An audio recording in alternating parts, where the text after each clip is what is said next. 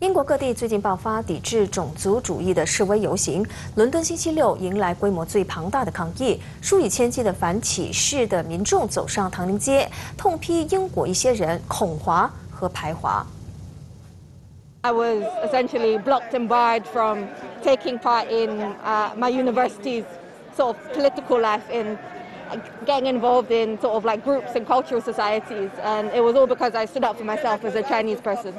People suddenly have this license or they have the right, they can just abuse people verbally on the train, public transportation, especially when you're on your own and then you get physical attack. And it's not just, just like, you know, in poor area, in, in everywhere.